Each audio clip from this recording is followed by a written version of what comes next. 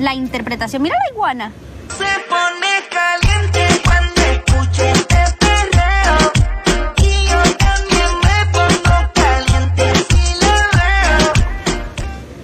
¡Qué bella! Bueno, el problema de la interpretación.